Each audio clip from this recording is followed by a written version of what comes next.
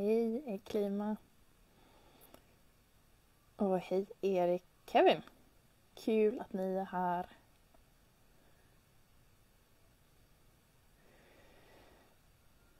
Jag tänkte ju prata lite vårdpolitik idag. Ja. Så jag hoppas att ni är pepp på det.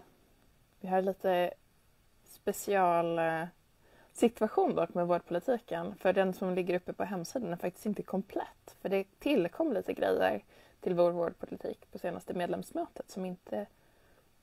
Sen när man är ett litet parti så, så finns det ibland saker som faller mellan stolarna och just eh, de uppdateringarna i vårdpolitiken eh, insåg jag häromdagen är en sån sak som som det råkat fallit mellan stolarna så att de finns inte uppe på hemsidan. Så att vi har faktiskt mer vårdpolitik än det som syns nu. Eh, så därför får ni kanske lite eh, överraskningar också om ni har kikat in vårt, eh, vårt politiska program. Must Save Earth, välkommen, kul att du är här. Basila Basila Burakif. Alltså vissa namn är ju inte så lätta att uttala. Basil Aburag Aburagiv? Ab ja, något sånt. Du får ursäkta mitt uttal. Pickluff, Ant Kromb, Xonjak. Kul att ni är här allihopa. Ehm. Jag sa just det att den vårdprogram som ligger uppe på vår hemsida faktiskt inte är riktigt eh, komplett. För det tillkom några punkter nu på senaste medlemsmötet som inte har eh, hamnat eh, på hemsidan än. Men det kommer ni få, få höra om strax. Jag tänker också att um, um, ni får ställa frågor um, istället för att jag bara står och babblar och läser högt ur vårt poddprogram tänkte jag säga, så får ni ställa frågor eh, kring det. Men jag tänker att jag kan i alla fall eh, eh berätta lite övergripande till en början med vilka olika Eh, Eh, punkter vi tar hänsyn till där. Eh, vårt vårdprogram är relativt nytt. Eh, jag tror att vi röstade, jag tror att vi tog fram det för ett år sedan, ett och ett halvt ungefär. Grunden och sen kom det som sagt lite tillägg nu på senaste medlemsmötet. Så vi, som ett litet parti så har man inte riktigt möjlighet att täcka in allt inom vården så ni kommer kanske sakna några saker men vi är ju ett medlemsdrivet parti och eh, tycker man att vårdpolitik är eh, väldigt, väldigt viktigt eh, och är medlem så kan man ju, så upp, vill jag verkligen uppmuntra er att och komma in i vår interna chatt och diskutera vårdpolitiken och, och komma med förslag, motioner till, till nästa medlemsmöte också. Um, hur mår ni idag? Mår ni bra? Välkommen till de nya som har kommit in. The Magic Rat, Mahe 136, Mikael Enmalm, Jonas Hertzman, Nora Gustafsson, Chating Tensetti, Chameralen. Kul att ni är här. Men ska vi börja då? Ska vi, för nu är det en hel, helt gäng som har anslutit så tänker jag att jag eh, kan ge en liten överblick över vad vi har i vårt vårdpolitiska program. Det kanske, eh, vi har ju våra grundvärderingar. Om ni har läst vårt principprogram så ser ni att vår liksom, huvudsakliga målsättning är att skapa egen makt, det vill säga att människor ska kunna ha makt och kontroll över sina liv. Eh, och eh, grundvärderingar då är frihet, värdighet och deltagande och det är ju de grundvärderingarna som vi även grundar vårdpolitiken på, likväl som alla andra områden. Ska vården i huvudsak drivas av det allmänna eller hur ser ni på privatiseringar? Vi har faktiskt inte ett eh, konkret ställningstagande angående eh, om det ska finnas eh, privatiseringar eller om det ska vara allmänt. Det enda är väl att eh, vi vill att det ska finnas eh, allmänt tillgänglig. Eh, alla, alla har ju rätt till vård. Eh, och då måste man se till att de systemen har faktiskt fungerar och ger, eh, ger likvärdiga, likvärdig tillgång eh, till vård. Eh, och eh, sen har vi inte kommit så långt att vi har tagit ställning för eller emot just eh, privatiseringar. Eh, det finns ju ett värde eh, i vissa... Eh,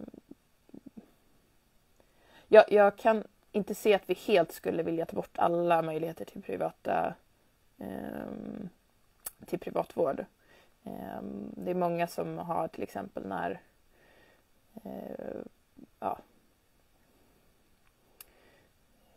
ja, vi behöver inte, inte gå in i det eh, i detalj, men det är väl, det är väl min syn på det att jag, jag inte tror att vi skulle vilja ta bort eh, privatvård helt och hållet. Eh, men att alla ska ha tillgång till vård. Däremot en del satsningar som vi vill göra är till exempel att eh, stärka primärvården, alltså vårdcentralerna. Eh, dels så har de fått ett bredare uppdrag på senare år och, och då behöver eh, kompetens och, och, resurser eh, komma till där för att man ska kunna sköta det uppdraget.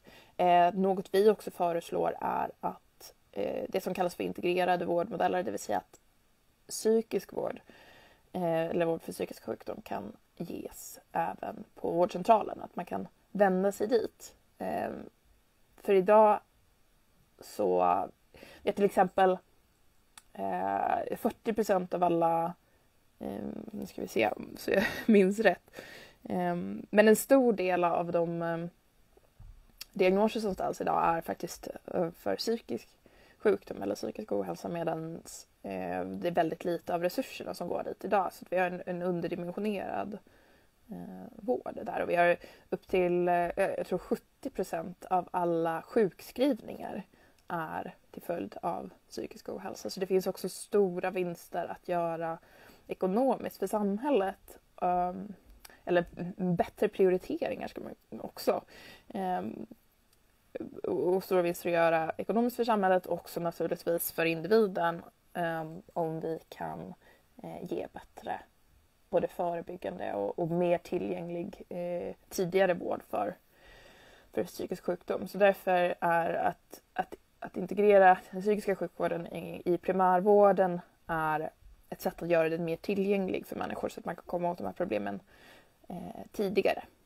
Eh, det ska inte behöva gå så långt att man ska behöva ta sig till en psykakut till exempel. Det ska vara sista utvägen.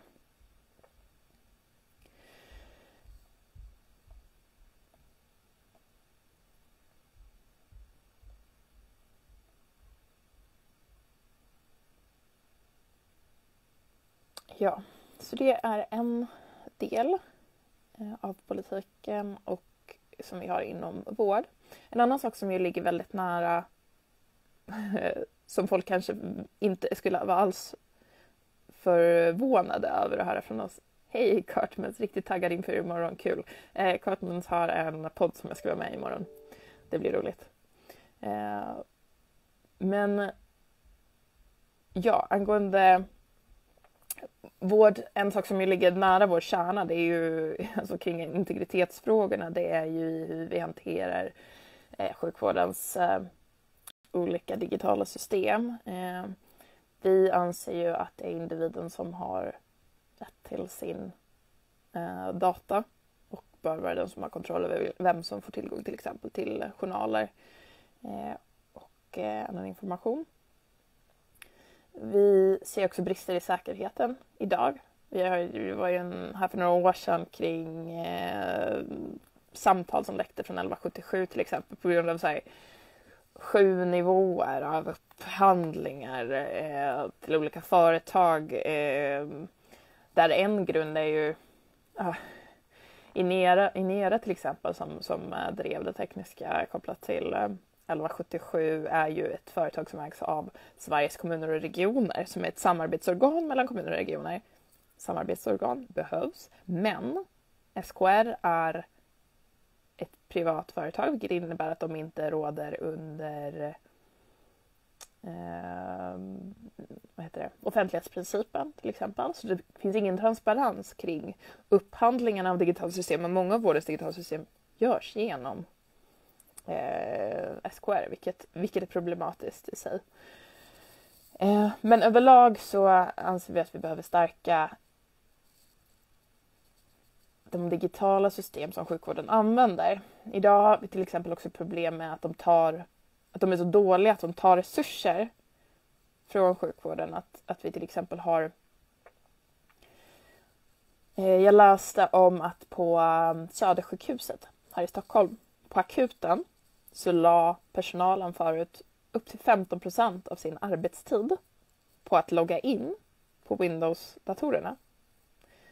För ni fattar, på, på akuten så sitter man ju inte vid sitt, sitt, sitt uh, sin dator. Eh, man har inte sitt eget rum så, utan de springer runt så de, de har liksom datorer som de delar på så att säga. Då måste man logga in och logga ut varje gång och då var systemen så, så illa utformade att den här processen tog så lång tid att de kunde lägga liksom upp till en och en halv timme av ett arbetspass på att logga in och logga ut på datorerna.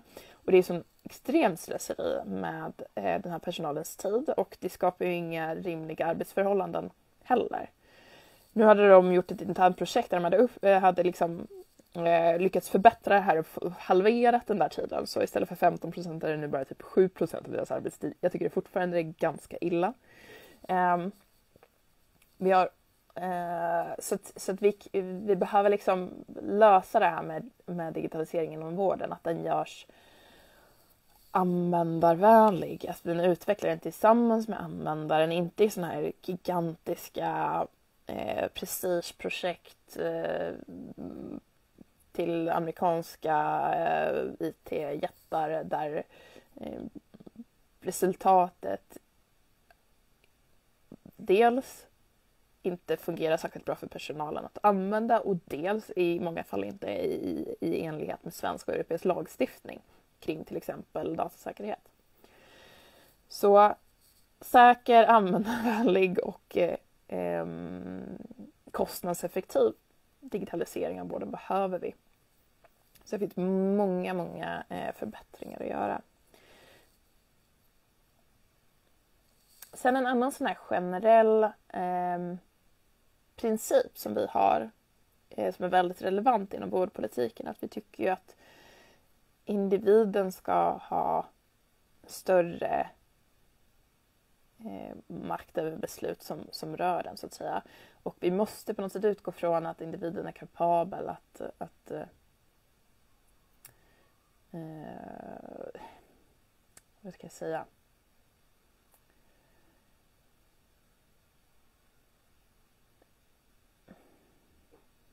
jag började formulera mig bäst. Men till exempel idag så är det ibland så att man inte får all man alltså som patient inte får all information om eh, sin situation eller sin diagnos eller så. Att, att, eh, eh, att det kan finnas en tendens att man inte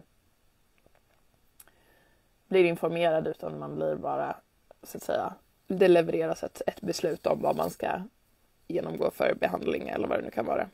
Eh, det gäller inte alla såklart. Eh, många ehm, läkare eller sjuk, eh, sjukvårdspersonal och så eh,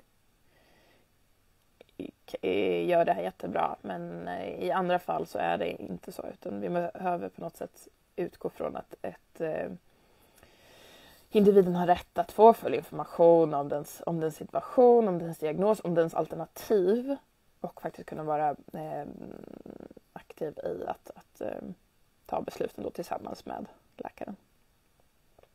Individen är kapabel att ansvara för beslut som rör ens egna liv. Ja, precis. Vad är din mest kontroversiella åsikt kring vården? Oj, oj, oj. Det kan vara olika saker som är kontroversiella för olika människor. Um...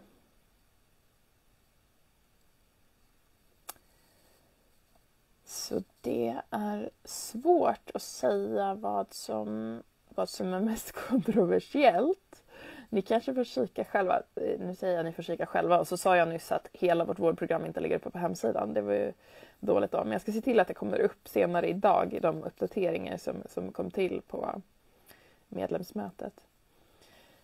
Eh, en sak som jag tycker också är viktig eh, är att vi eh, det är väl ingen, det är väl ingen kontroversiellt, att vi, eh, eh, eh, kontroversiellt att vi är emot eh, onödig byråkrati och administration. Men ett sätt att, att göra det på är ju till exempel vi, har, vi har fått ök, eh, ökad andel av, av personalen inom sjukvårdens organisation är administratörer idag. Alltså det, man, man anställer mer administratörer än man anställer vårdpersonal. Eh, och vi anser väl där, eh, där att det är någonting som är fel om det blir eh, så. Vi behöver ju fler på, fler, mer personal på golvet eh, som träffar patienterna och inte fler som sitter och, jag vet inte, eh, jobbar med eh, andra, eh, med administration. Eh, då behöver vi dels se över vad det är som... Eh, ibland, I vissa delar av, av offentlig sektor så finns det en över en överdriven, eh, överdrivna krav på eh, dokumentation. I vissa fall är det ju jätteviktigt och berättigat med dokumentation men där kan man behöva se över vad det egentligen, eh, vad det egentligen där krävs. Sen finns en annan aspekt som är det här att Eh, i många fall inom vården så underbemannar man lite eller man har verkligen minimibemanning. Eh, och där kan man se i vissa eh, vissa regioner där man har valt att istället ha en lätt överbemanning som har faktiskt tjänat på det både ekonomiskt och i form av bättre arbetsmiljö. Ja, eh, där kan man säga att man har en liten överbemanning på golvet. Dels så mår personalen bättre, man får färre sjukskrivningar för folk är inte lika stressade. Och därför, därför behöver man också ringa in färre vikarier och då behöver man färre administratörer som sitter och ringer in vikarier. Då kan man också istället låta de personalen på golvet faktiskt själva fördela, om man, om man saknar personal på en avdelning och man har en extra på en annan avdelning så, så har man helt enkelt internt så att man fördelar, omfördelar personaler Eh, personal inom sjukhuset eller vårdcentralen där, där det finns behov istället för att man som sagt ska sitta och ringa in vikarier. Halleluja till mer folk på golvet än byråkrater som knappar på datorn helt bortkopplad från verksamhetens nytta. Ja, och det går ju att göra på olika sätt. Jag, vet, jag har diskuterat det här med min syster för att hon är sjuksköterska.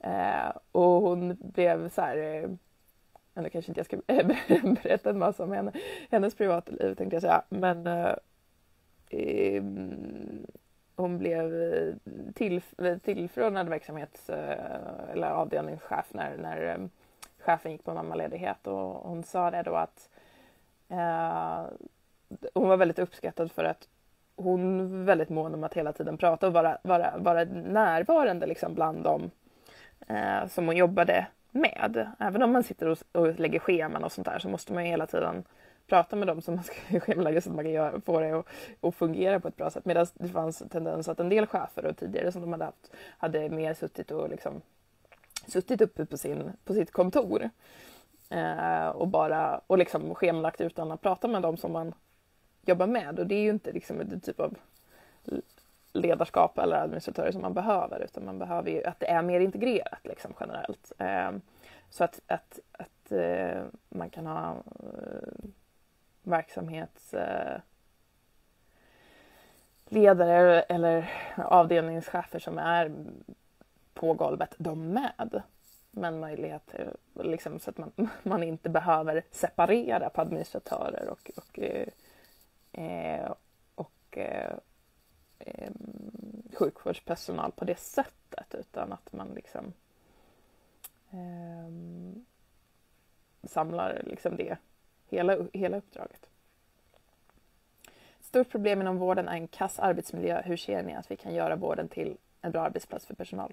Jo, men en sak tror jag är just det här att kolla på bemanningen, att faktiskt ha eh, full bemanning eh, och viss överbemanning istället för att ha den här eh, minimibemanningen som man ofta då motiverar ur ett ekonomiskt perspektiv men faktiskt inte gynnas, men faktiskt inte liksom ser man på resultatet så, så, så blir det inte billigare att ha en minimibemanning. Utan det blir faktiskt billigare att ha en lätt överbemanning för att personalen mår bättre.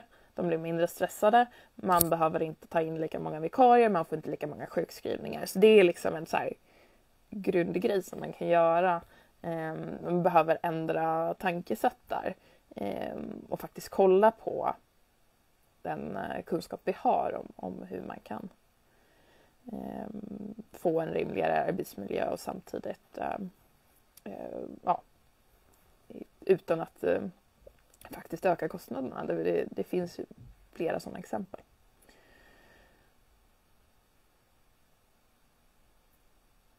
förtidsröstade på er nyss till riksdagen. Tack så mycket för förtroendet.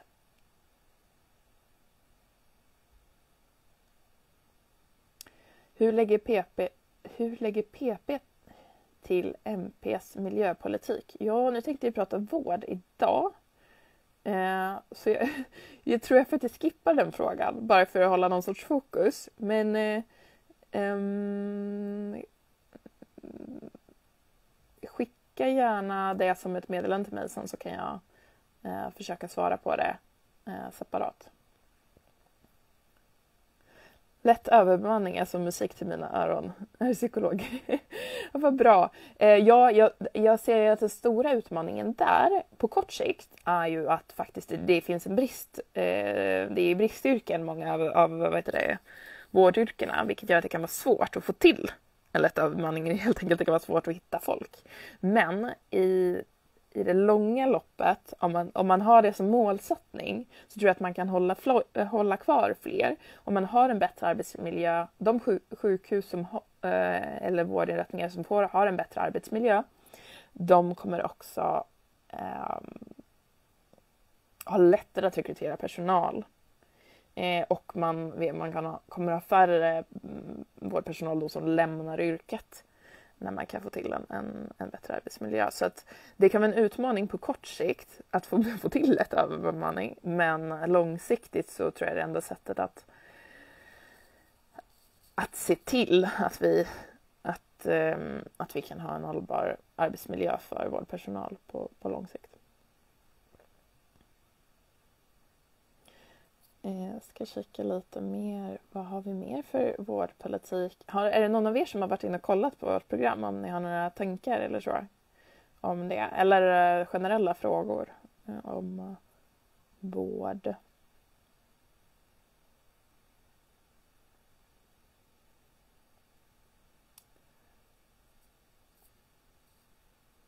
Tycks vara mycket inkompetens, inkompetens, inkompetens hos chefer inom vården. Hur ser ni på strängare krav för en sådan viktig roll? Ja, nu vet jag inte om vården innefattas men vi har faktiskt en mm, punkt i vår, för, vårt förvaltningspolitiska program. det låter väldigt torrt men det är, faktiskt jätteviktigt. Det handlar ju om hur olika myndigheter styrs till exempel eller ska fungera. Och där har vi en, en punkt som säger att chefer som rekryteras inom myndigheter då, eller offentlig förvaltning måste ha erfarenhet från den organisationen eller från ehm, eller likvärdig verksamhet. Och det tror jag är en bra regel även inom vården att man behöver ha chefer som har en förståelse för hur det är att jobba eh, inom vården.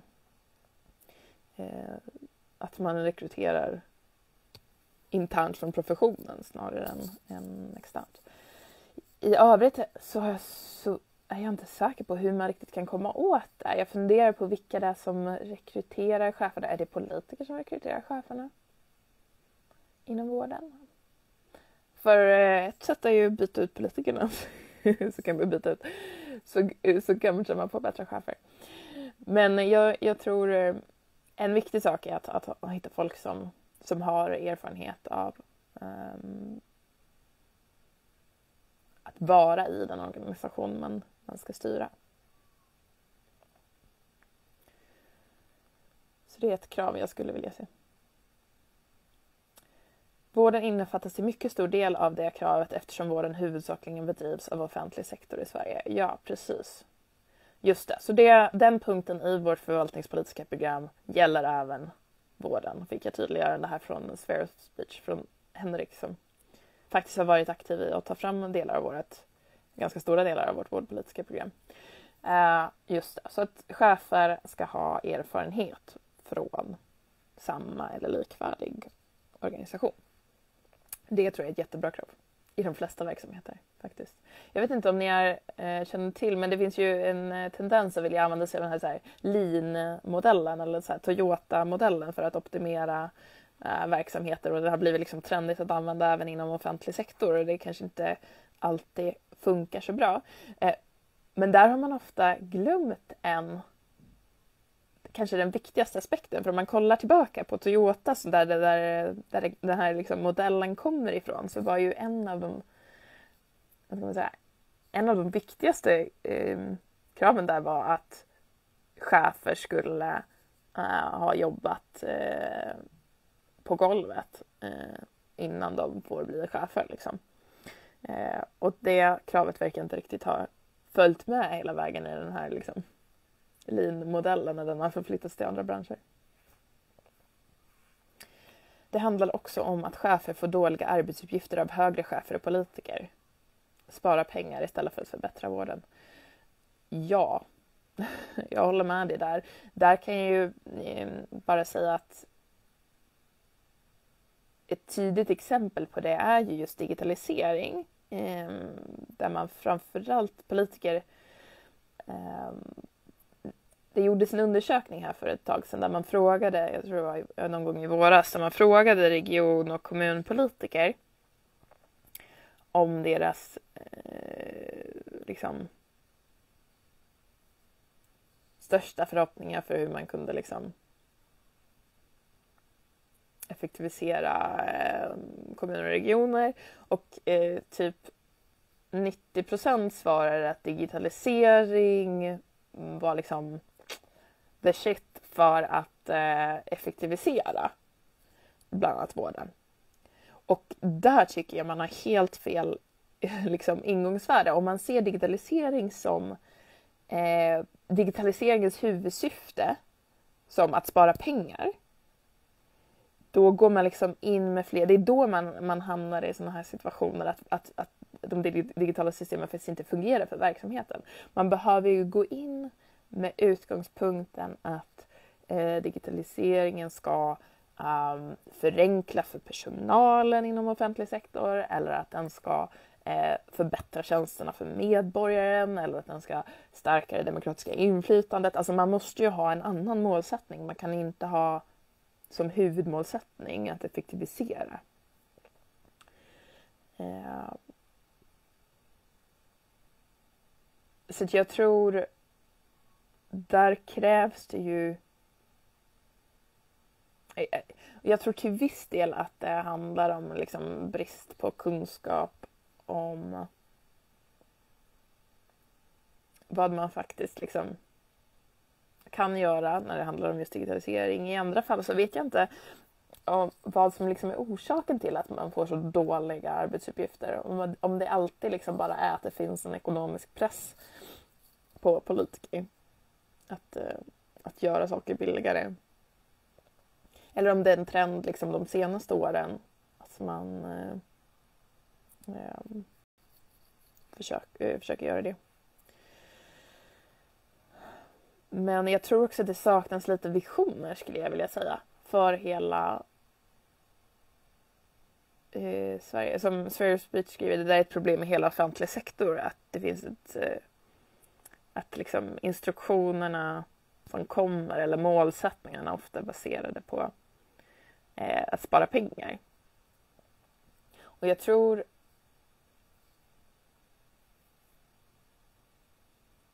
visserligen att det finns pengar att spara på vissa ställen men inte på det sätt som, som politikerna tror. Eh, och, och eh, det finns, när, det, när det saknas andra tydliga visioner för hur man vill förbättra vården till exempel, då blir det lätt att den ekonomiska målsättningen får liksom övertaget. Eh, så där krävs det ju krävs det väl tydligare andra visioner och målsättningar för vad man vill att vården ska vara eh, i framtiden. I en nära framtid och en, eh, längre, på längre sikt också. Finns det inte en risk att kompetenta chefer missas med ett krav på tidigare erfarenhet inom yrket? Eh, kan det inte räcka med en teoretisk istället för praktisk kunskap? Det, det är klart att det finns en risk att de kan missas, men jag tror att detsamma gäller om man inte har det kravet. Alltså tvärtom. Man missar eh, eh om man externrekryterar chefer som har chefskompetens men inte kompetens inom verksamheten. Um, så det, det, gäller nog i båda fallen. När det gäller vården till exempel så tror jag det är väldigt viktigt att vi har en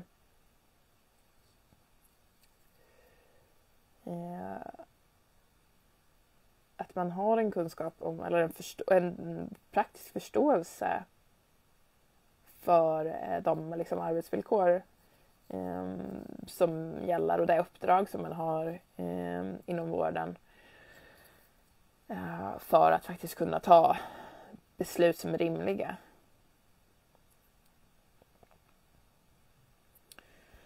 Kameralen, min uppfattning är att det saknas uppföljning av chefer och man hjälper sina vänner få jobb. Ja, att det blir lite av en chefsklubb ehm, eh, som man skickar runt på olika chefspositioner. Så kan, vi se, så kan man ju se bland myndighetschefer till exempel. Att jag vet inte hur många ställen, vad heter den? Dan Eliasson har varit på. Nu är han på MSB, sen innan var han på polisen och innan det på Försäkringskassan och det ena och det andra.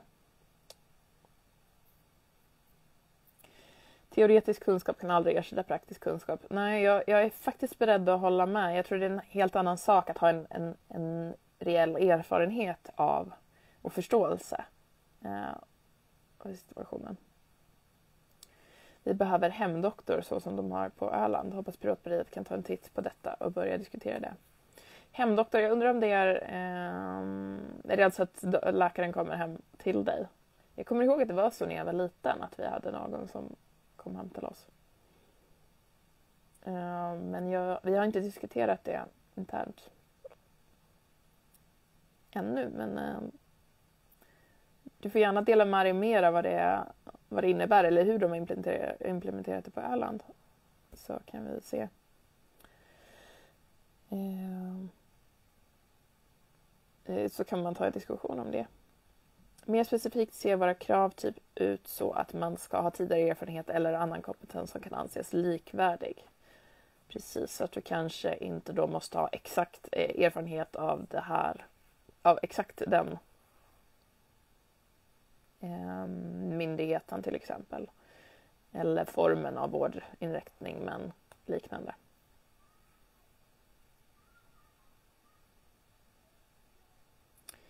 Sphere of Speech säger personligen är jag stor vän av idén att man ska ha en fast läkarkontakt liknande den man har i Norge när det gäller primärvård.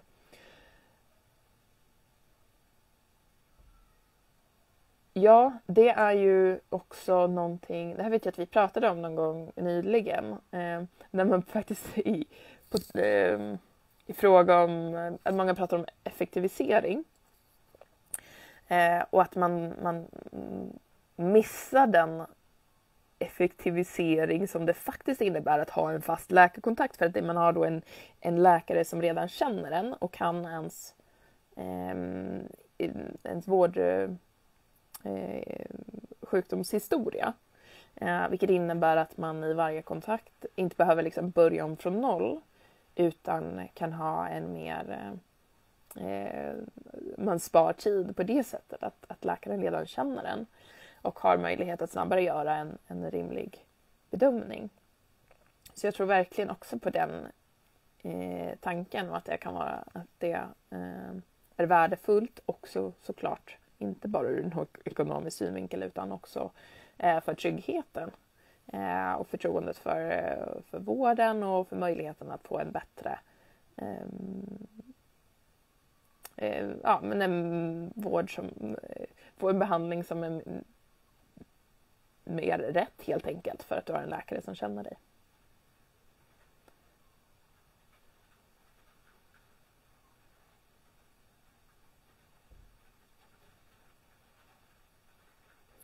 Så det kanske var ungefär det du menade Jonas där eh, att de hade på eh, Åland att man har en, nu står det hemdator men jag antar att du menar hemdoktor. Eh, att man alltid träffar samma helt enkelt. och jag, eh, ja som sagt, ett, också ett fan av den idén och jag tror att det bara precis som du skriver, både blir billigare och tryggare för, för patienten.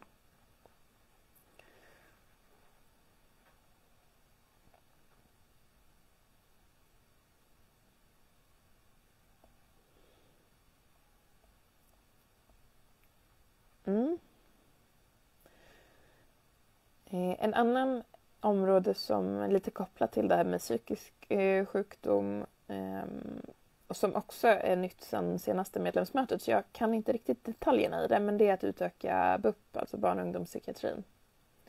Där tror jag också man måste göra, jobba på andra plan. Jag är ju själv lärare och eh, där kan man se sen när betygssystemet infördes 2011, nuvarande betygssystemet, så har eh, mental um, eller psykisk ohälsa bland elever fördubblats. Eh, så där behöver man agera på olika sätt. Men eh, där ser vi också att det behövs en förstärkning av, av barn och ungdomspsykiatrin. Sphere of speech. Det finns också forskning som säger att den typen av kontinuitet man får med en fast husläkare genererar stora värden på lång sikt. Ja, det är mycket... Um, det är lite, lite samma det finns eh, många förändringar som har gjorts i vården på senare år i effektivitetens namn eller kostnadsbesparingars namn som eh, oftast inte är långsiktigt eh, kostnadseffektivt. Både i form av det vi pratade om tidigare med bemanning till exempel Eh, um, eh, och också det här med att ha husläkare eller en, en kontinuerlig eh, läkarkontakt.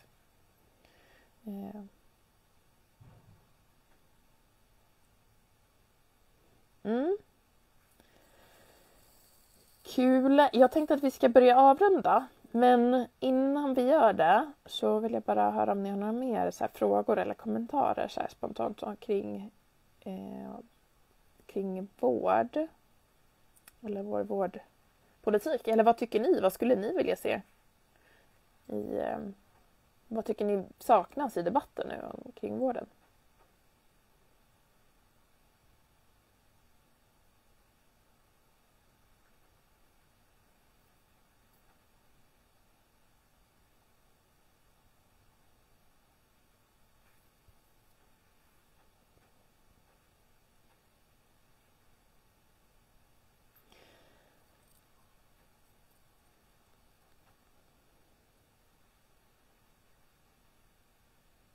Mm.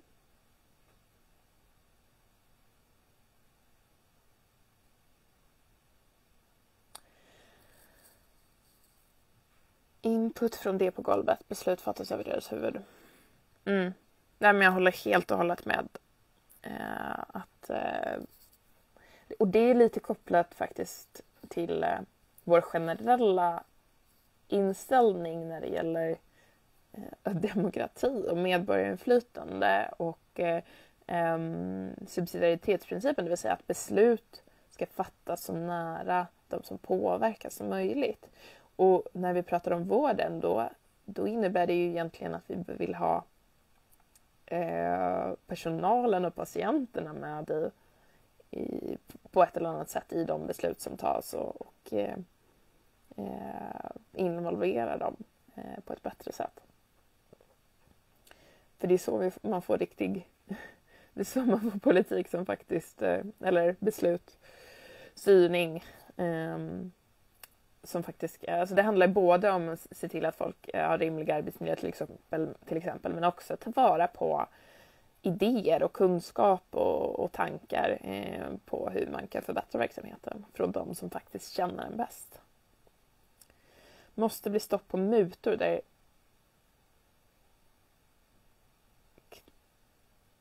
knarkare lätt kan få ut benzo och andra starka preparat så lätt. Eh, ja, där eh, kan... Det är klart att man inte... Det, där... Eh, mutor ska inte förekomma. Såklart, inom någon offentlig verksamhet. Eh, sen kan det vara så att eh, när man har ett bristande förebyggande arbete mot psykisk sjukdom så, så kan det bli, istället bli en medicinering som en, nöd, så att säga, utväg. Så att genom att satsa förebyggande så kan man ju faktiskt också undvika det. Chameralen, jag tycker att sjuksyrror är bra på att speak up men jag vill höra lika mycket från läkarna. Ja, kanske det. Um, där tänker jag att man borde... Jag tycker för sig att jag hör en del från läkare också. Ehm, det kanske eh, beror på vad man har för, för, för nätverk, vad man hör. Jag tycker jag hör lite av uh, varje men jag tror att sjuksyrrorna ofta är en kanske en tuffare situation och också lite sämre arbetsvillkor när det gäller löner och sånt. Det måste bli attraktivare att arbeta inom vården. Jag kände mig nästan som en slav när jag var anställd på vårdcentral.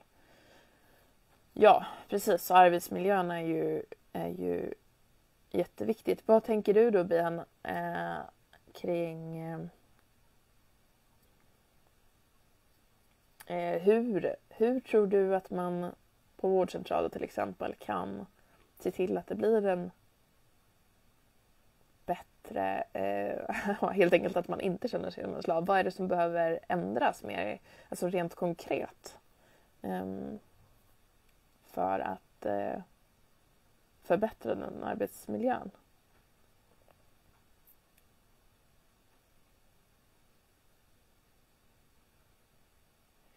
Det Jonas nämner, alltså det, det vill säga eh, angående att det eh, mutor så att man skriver ut eh, ehm, starka preparat eh, där det inte skulle göras. Eh, Eh, säger att det delvis beror på att läkare kan ha kvar förskrivningsrätten, förskrivningsrätten efter att de pensioneras.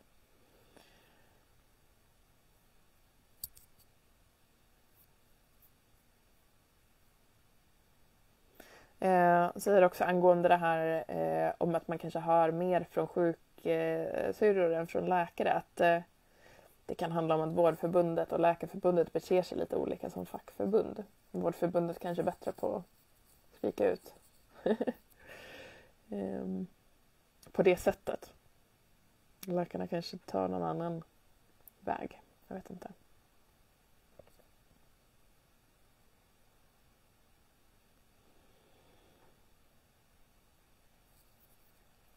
han säger mer bemanning, mer respekt för att vi kan styra över egen tid. Ja, det håller jag helt och hållet med om. Och sätt att arbeta, mindre admin, tydligare regler vem som behandlar vad så att remisser inte avvisas. Ah, det där är något som jag måste erkänna att jag inte har i, eh, koll på. Um, hur, det, hur det funkar, men tydligare regler vem som behandlar vad så att remisser inte avvisas. Ja, ah, du menar idag att det skrivs remisser och sen så när man vänder sig dit, dit man har remitterat så får man faktiskt inte hjälp. Utan man blir skickad vidare. Eh, och det borde man ju verkligen... Man tycker inte det borde vara så svårt att komma åt egentligen. Eh, det känns ju som att det är en kommunikationsmiss. Kameralen säger media vill inte höra läkare gnälla. Nej, de har så bra lön, de får inte gnälla. Eller så är det för att de har så bra kontakter inne i uh, vad heter det? politikvärlden kanske så att de, de går via dem istället. Jag vet inte. Jag tycker ju att eh, vårdpersonalen borde gå samman och samarbeta, både sjuksköterskorna och eh, eh läkarna och andra eh, professioner inom vården och eh, eh, agera tillsammans. Remiss, angående remisser. Patienter bollas runt. Ingen vill ansvara för svårare patienter. Nej, och där är ju också... Eh, det finns ju problem ibland med samsjuklighet också. Att man kan ha olika...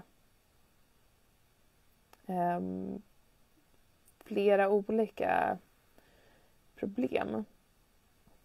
Eh, och, eh, och att eh, det finns en liksom... Ehm, att man träffar inte överens om hur man ska komma alltså vem som ska vart, vart grundproblemet ligger så att säga. Det tror jag kan vara ett problem i vissa fall. Det har vi faktiskt med i vi har faktiskt lite kring samsjuklighet och förbättra forskningen kring samsjuklighet i, eh, i vårt vårdprogram. Bra lön, plugga i cirka 10 år och ansvara för patienters liv för cirka 50 000 i månaden. ja, Eh, ganska bra lön. Eh, det är såklart rimlig, eh, i många fall rimlig lön tycker jag också för eh, läkare. Men eh, om man ser till eh, vad vissa andra tjänar. Men jag menade mest i förhållande till sjuksköterskorna. Även om det verkar som att sjuksköterskors löner har gått upp lite grann också i alla fall. Kanske värst för undersköterskorna numera. Men de har ju också eh, lite mindre, betydligt kortare utbildning. Mm. Eh, kul, kul att prata med er. Eh, tack för er input. Jag hoppas att ni har fått liten eh, alltså en liten bild av vad, vad vi driver för eh, hälso och sjukvårdspolitik. Eh, om ni känner att det här är en viktig fråga för er så, och, och ni sympatiserar med oss så, så skulle jag jättegärna se att ni, eh, ni blir medlemmar och kommer in och diskuterar frågan eh, med oss så att vi eh, kan förbättra vårt program ännu mer. Vi utgår som sagt från liksom, våra grundvärderingar om eh, frihet, värdighet och, och deltagande, egenmakt. Eh, och sen försöker vi utveckla ehm, eh, så försöker vi utveckla eh, politik eller konkreta policyförslag som är grundade i, i erfarenhet och vetenskap kring hur man faktiskt kan nå de, de målen. Eh, tack för alla svar. Kul att prata piratvård. Ja, det tycker jag också. Eh, imorgon, nu ska vi se, det är torsdag idag, imorgon är det fredag. Imorgon tror jag att vi kommer, prata, eh, jag kommer köra en live också, då tror jag vi kommer prata kultur. Kulturpolitik. Så jag hoppas att eh, ni vill vara med då också eller att ni tipsar om ni vet några som är intresserade av kulturpolitik. Så får de gärna komma in imorgon klockan 12 så uh, snackar vi om det. Piratpartiet går bra uppåt. King och Katarina. Tack så mycket. Eh, tack för ert stöd Eh, och er input så hörs vi och ses, hoppas jag, en annan dag. Hej då!